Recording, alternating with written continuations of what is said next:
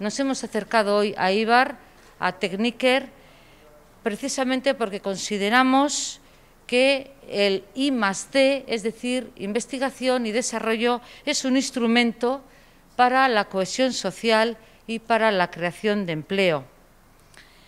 El modelo de I más D que desarrollará, Euskal Herria Bildu tiene como objetivo avanzar en la justicia social, en la cohesión social y en el diseño de un desarrollo socioeconómico justo, en lugar del beneficio económico de unas pocas empresas.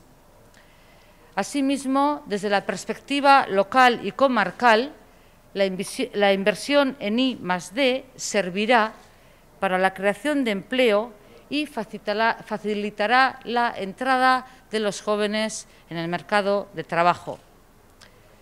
Para ello, las políticas de I D deben de estar orientadas a garantizar la eficacia de todos los sectores, especialmente sanidad, educación y energía, sin olvidar la sostenibilidad de los recursos naturales.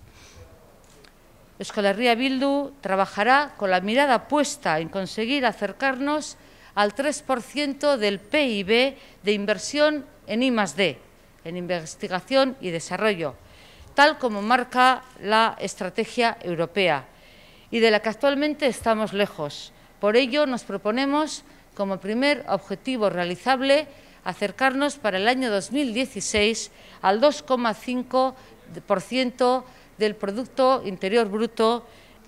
Tenemos claro que para ser competentes en los mercados internacionales tenemos que dotar a la industria vasca, a las empresas vascas, de un alto nivel tecnológico en investigación y en desarrollo.